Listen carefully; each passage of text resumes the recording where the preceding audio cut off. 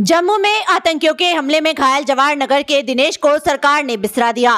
पहले हेलट, फिर लखनऊ के केजीएमयू अस्पताल से बिना इलाज लौटा दिया गया। घर के कोने में लेटे लाचार दिनेश ने बुधवार को आर्य नगर से सपा विधायक अमिताभ वाजपेयी को मददगार के रूप में अपने सामने देखा तो आँखें छलक पड़ी। बोला, कोई तो हमदर्द आया। सपा विधायक ने उसे बीस हज़ार की आर्थिक मदद दी। इससे खुश दिनेश ने बताया कि आतंकियों ने उसके पैर में गोली मारी थी।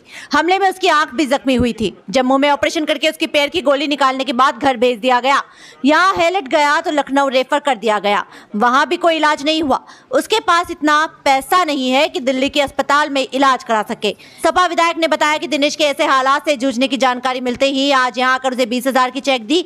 ये पार्टी की ओर से नहीं बल्कि अपने वेतन वाले खाते से दी है। दिनेश को दिल्ली के एम्स अस्पताल में इलाज कराने के लिए कहा है। ज़रूरत पड़ने पर उसकी और मदद की जाएगी। आप कहाँ निवासी मैं भैया सीसा मऊ क्षेत्र वार्ड पाँच का जवान नगर का निवासी हूँ। अभी जो जम्मू में घटना हुई आतंकी हमला हुआ था जिस बस पे उस बस में आप भी सवार जी मैं भी था। क्या क्या घटना हुई थी कुछ जानकारी घटना से ये कि मैं बाबा के दर्शन करके कटरा के लिए वापस जा रहा था। सियासी जगह पे ही एक जगह पड़ती है। आतंकियों ने अचानक से हमला बोल दिया था। उसमें उन्होंने काफ़ी फायरिंग करी गोली वोली तो हम लोग नीचे बैठ गए थे। उसमें ड्राइवर को गोली लगी तो बस हमारी खाई में पलट गई दो बार में। उसमें काफ़ी ज़्यादा चोटें आई काफ़ी गंभीरता से घायल हो गए थे।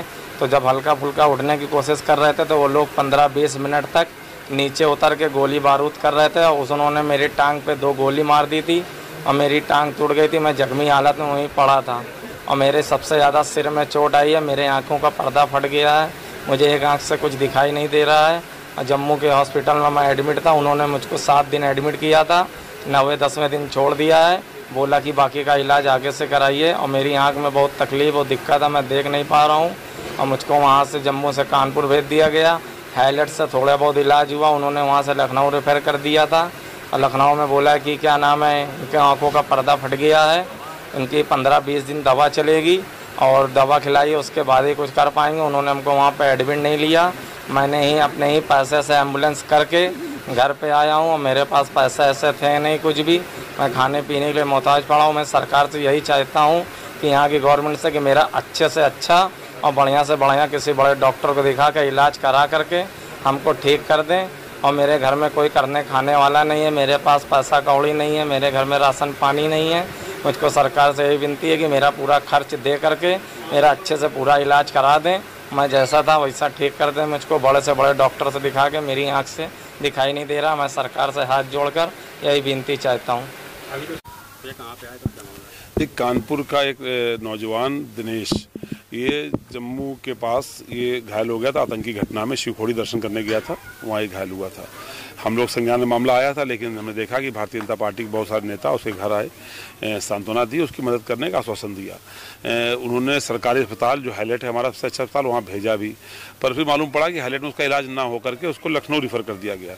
तो उसका इलाज लखनऊ में भी नहीं हुआ। कल के समाचार पत्रों में मुझे मालूम पड़ा कि लखनऊ में भी उसका इलाज नहीं हो पाया, परिवार निराश होकर लौट आया। इसकी किसी प्रकार की आर्थिक मदद नहीं हुई और परिवार परेशानी की हालत में है, उसकी रोजी रोटी बंद पड़ी है और इलाज भी नहीं हो पा रहा है। तो ऐसे में हम समाजवादी जो पार्टी के हमारे कार्यकर्ता साथी हैं, उन्होंने खबर करी कि ऐसी परेशानी है तो हम लोग आज मौके पर आए हैं। हम लोगों ने देखा है कि किस प्रकार से आतंकी घटना में घायल की कोई मदद सरकार द्वारा नहीं हो पा रही। वो सरकार जो दस साल से है, वो ना आतंकवाद को काबू कर पाई और ना आतंकी घटनाओं में घायलों की मदद कर पा रही, ना हम अपने कानपुर से लेकर लखनऊ तक इलाज की कोई ऐसी व्यवस्था विकसित कर पा रहे हैं, जिसमें ऐसे पीड़ित की, ऐसे घायल की हम लोग सरकारी सिस्टम पर मदद भी करा पाएँ। इसलिए हमने आज आकर के परिवार को सांत्वना दी है समाजवादी पार्टी की ओर से और अपने व्यक्तिगत तनख्वाह वाले खाते से उसको बीस हज़ार रुपये की चेक दी है, ताकि वो परिवार उस पैसे से दिल्ली जा सके और दिल्ली जाके एम्स के डॉक्टरों को दिखा करके अपना आगे का इलाज सुनिश्चित कर सके। और ये भरोसा भी दिलाया है कि समाजवादी पार्टी दुख तकलीफ़ में उनके साथ खड़ी है और आगे भी इलाज में जो मदद की ज़रूरत पड़ेगी, वो मदद हम लोग करने का हर संभव प्रयास करेंगे। आज के इस मौके पे, लेकिन हम ये जानना चाहते हैं कहाँ है उत्तर प्रदेश के स्वास्थ्य मंत्री, जिनका दूसरे दलों के नेताओं को शामिल करने पर तो ज़ोर रहता है। लेकिन कानपुर और मेडिकल, लखनऊ के जैसे मेडिकल कॉलेजों में डॉक्टर अच्छे शामिल कर सकें, इस पर उनका ज़ोर नहीं रहता। कम से कम वो राजनीति से निकल करके कई महीने हो गए हैं, चुनाव बीते भी एक महीना हो गया, आप निकल के अपने अस्पतालों की, ये इसलिए तो जाँच लें कि आतंकी हमले में घायल व्यक्ति का भी इलाज उनके मेडिकल कॉलेज नहीं कर पा रहे हैं। इसका संज्ञान लें स्वास्थ्य मंत्री।